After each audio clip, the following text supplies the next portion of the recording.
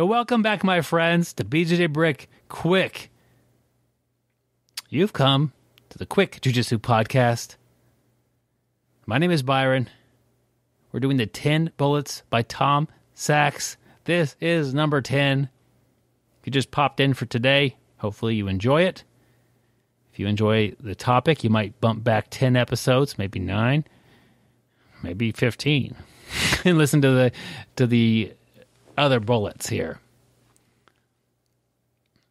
But this is kind of a conclusion of Tom Sachs' 10 bullets. He wrote these and helped him organize and run a studio where people people made things. I heard about these and I could really explain these better in the first episode of the 10 bullets. And I thought this would be interesting to look at these in a jiu-jitsu perspective. Bullet number 10 persistence. Here's a quote Nothing in the world can take the place of persistence. Talent will not. Nothing in the world is more common than unsuccessful, talented men. Genius will not. Unrewarded genius is almost a proverb. Education will not. The world is full of educated derelicts. Persistence and determination alone are omnipotent. How important is being persistent? Anybody with that goal that they have accomplished had to persist through something. Oftentimes, many things. You look at somebody who's successful, you're like, oh, they had an easy road. Nope. You're just not seeing what happened before this. Like the, that's a good quote. It's kind of tied to this tenth bullet here. Talent won't get you there alone. You got to be persistent. Genius won't get you there alone. You'll find something else to do. Education. You could train with the best coach in the world. If you're not persistent, it's going to get you nowhere. I feel like some of these these 10 bullets that we've covered, I have had to kind of explain them quite a bit. We talked about, you know, the gym or the mats being a sacred space. We talked about being thorough. We talked about saying I understand or keeping a list or what knowing. What does always be knowing? What does that even mean? We talked about all these things.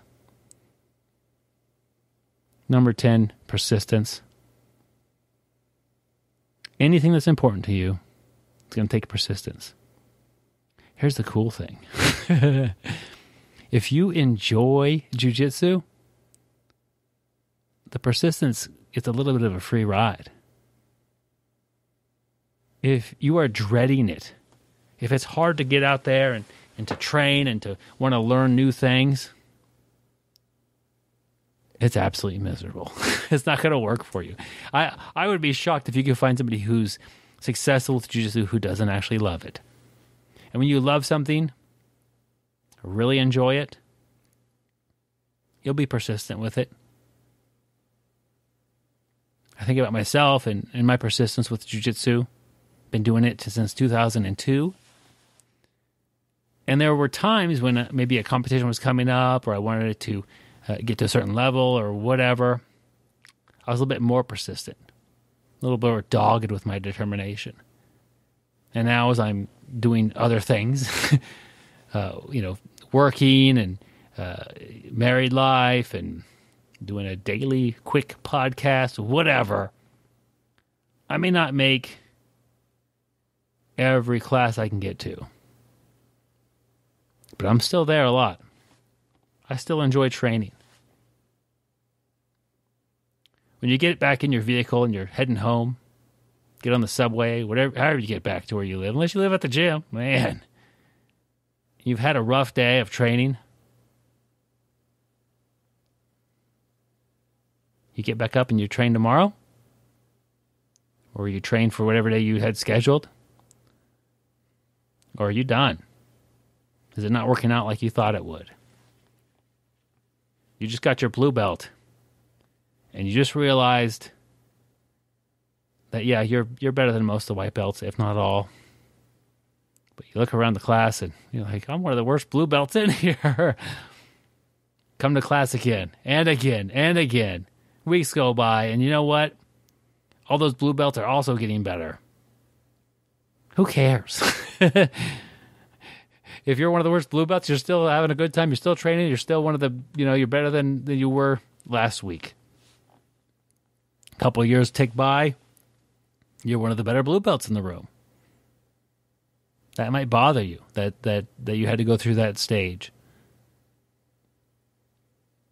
Learn to put your concentration somewhere where it's productive. Guys, I hope you enjoyed the 10 Bullets by Tom Sachs. Uh, his last name S A C H S. You can type it in on YouTube. There's there's several well done videos about these. Uh, if you've enjoyed this sort of a I don't want to call it a tangent, but this this diversion from a typical jiu-jitsu podcast where like, okay, talk about food, talk about, you know, nutrition, talk about sleep or uh, you know, just a generalized jiu-jitsu topic. I don't think anybody has talked about these 10 bullets for jiu-jitsu yet. If you've enjoyed this, let me know. And I'll find other things. I'm always reading books and always kind of exploring other worlds. I can just drag other stuff onto the mats and we'll, we'll continue to learn together. Hope you have a great day today and stay sweaty, my friend.